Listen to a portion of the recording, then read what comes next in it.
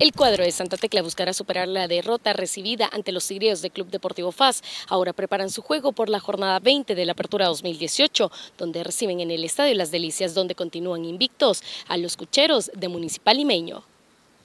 Luego de perder el liderato del torneo, los tecleños quieren levantar cabeza y buscarán lograr su juego 38 como invictos en casa, cuando reciban a Municipal Limeño este fin de semana.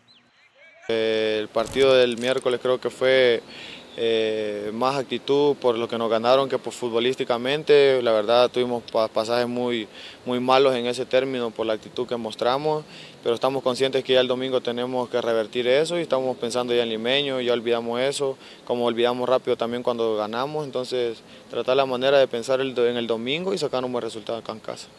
A tres fechas de finalizar la fase regular de la Apertura 2018, los tecleños hacen una evaluación positiva de su desempeño, pues han estado peleando la cima de la tabla. Ahora son segundos con 38 puntos, dos por debajo de Alianza y a siete puntos de los tigríos.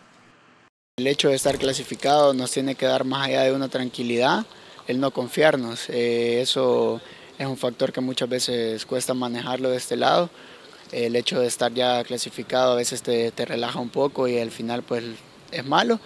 Eh, ha hecho mucho énfasis en ello, de que tenemos que sacar el mayor puntaje posible dentro del torneo, que tenemos que jugar cada partido como el último y que sea importante sacar esa ventaja deportiva en lo que es el primer y segundo lugar. El rival de los colineros en la fecha 20 viene de sumar un punto en el empate contra Luis Ángel Firpo. Los de Santa Rosa de Lima son novenos con 23 puntos tenemos que volver a nuestro mejor nivel, a hacer nuestro fútbol aquí en casa. Y creo que el equipo igual está siempre con los ánimos arriba y no tenemos ninguna duda de que aquí en casa nos hacemos fuertes y esperamos sacar los tres puntos. El cuerpo técnico encabezado por Cristian Díaz cuenta con todos los jugadores a su disposición, ya que los lesionados han superado su proceso de recuperación, a excepción de Juan Barahona, que sigue siendo baja por esguince sufrido en selección nacional. El juego entre Pericos y Cucheros está programado para este domingo 11 de noviembre a las 4 de la tarde en el Estadio Las Delicias, donde también habrá una promoción de 2 por 1 en la taquilla de localidad general.